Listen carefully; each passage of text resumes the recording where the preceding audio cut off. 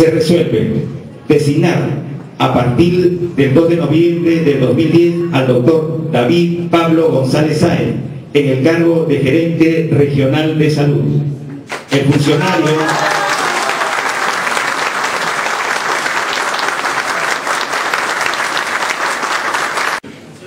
Consejos Esculapio, Dios de la medicina.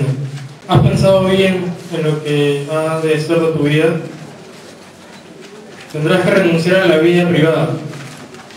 Mientras la mayoría de los ciudadanos pueden, terminar su tarea, aislarse lejos de los inoportunos. Doctor y amigo Aldo Lama, director regional de salud del Callao, doctor Salcedo, Carlos Salcedo, director del hospital Universidad de Carrión, y dejo al final porque es una persona muy especial en mi trayectoria médica, porque nos conoce desde que estudiábamos medicina, justamente con Félix, su hijo, actual presidente regional o.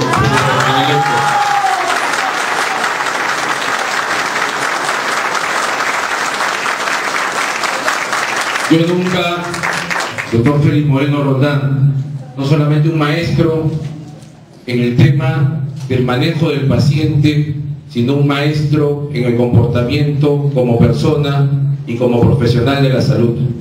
Yo recuerdo mucho las charlas innumerables que teníamos cuando éramos dirigentes universitarios con Félix y nos sentábamos a veces en el comedor a escuchar los consejos de quien cariñosamente hemos llamado siempre Papá Félix. La gente del Callao lo conoce de esa manera. De manera que hago un reconocimiento especial y veo en el doctor Moreno a la imagen de mi padre que ya no me acompaña y a través de él le rindo un homenaje muy profundo, cariñoso, sabiendo que esté en la gloria de Dios, sin ninguna duda.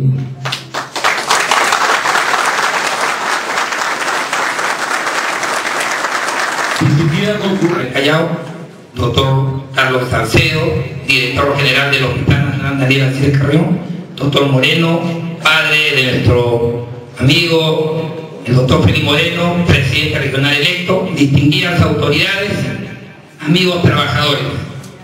11 de noviembre es un día importante, pero no solamente para la Dirección Regional de Salud, sino para la salud de todo el Callao, porque asume oficialmente el cargo el doctor David González y el cargo de gerente regional ya implica un cargo que significa rectoría de la salud en todo el Callao. Por lo tanto, no solamente de la Dirección Regional de Salud. Parece que soy especialista en brindis. Distinguida concurrencia. Todo ya se ha dicho de la trayectoria del doctor David González. Ya conocemos, yo sobre todo, su trayectoria desde su inicio.